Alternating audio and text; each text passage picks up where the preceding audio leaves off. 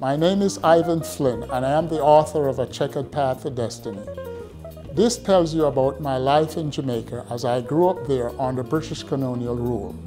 The difficulties I faced without education or parental guidance. This is an extraordinary book. It will tell you all of the things that I had to do. I had to teach myself to read and write when I was 16 years of age. I had to register my birth when I was in my 20s.